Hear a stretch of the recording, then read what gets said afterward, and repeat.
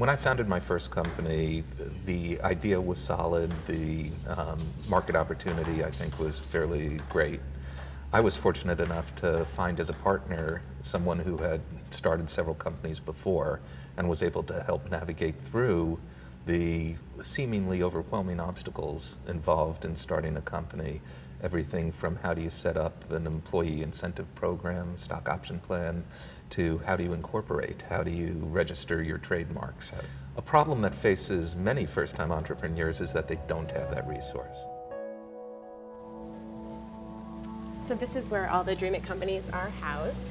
Essentially, we have one big open space for everybody. We think that there's a lot of learning that the companies can share with one another and um, community that gets fostered by being in the same space. And you know, you'll find that a team has a challenge with a certain technical issue, or they have a challenge, you know, getting a certain customer, and another team might actually have those skills or those connections, and so they'll actually be able to share those. Mike Levinson and I had been considering different models for taking companies from an idea through launch, and we'd been talking about it for several years. And um, Mike came to me in June of 2007, having um, learned of a model that where he thought it might work for us, and that's the model that eventually evolved into the Dreamit model. As an entrepreneur, you need to be very confident and you need to have this you know, strong sense of self and strong sense of what you're doing and a vision and a real true belief that it's going to happen. Um, but if you're not going to be open to change or advice or you know sort of the uh, you know the sense that it could actually you could be off and you may need to change gears or that it may fail directly you're not going to be successful and so when we look at the team to see whether or not we think that they're a viable team, it's not just, you know, are they well educated, are they smart, do they have a good idea, but it's also, are they really actually going to function in this environment? Are they going to be open to the idea of coaching and mentorship? Dreamit takes each company over a three month period during the summer, and regardless of what stage they come into Dreamit at, the goal is to have them achieve their next milestone, their next meaningful milestone during that three month period. So we provide the companies with not only the shared office space, but they each actually get their own pod with um, Wi-Fi, and we provide cash at the beginning of the program and actually more halfway through the program.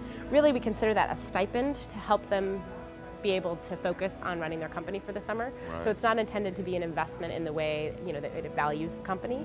We do require that they be here in Philadelphia so that they can engage with the speaker series and the mentors and the service providers and with the other companies. We obviously would love to see the companies stay in Philadelphia. That is not a criteria that we use in accepting companies. And Philadelphia is not generally thought of in this day and age, certainly in Ben Franklin's day and age, it was thought of as the hub of innovation and uh, entrepreneurship, but um, not so much now. However, it is completely underestimated outside of Philadelphia the degree to which the ecosystem really does support startups and entrepreneurship here. One of the things that's challenging is we have 14 companies in this program this year, and so there's uh, you know a lot to keep up with. A lot of companies do going in different directions and making sure that we're getting resources available for all of them. So it's great to be in the third year of the program where we've got a lot of the standard programming already in place, and we can focus on getting each company the individual attention it needs at each point in the program the energy that you receive from just being around people who are so dedicated, working so hard, and who are so damn smart is, is really extremely gratifying.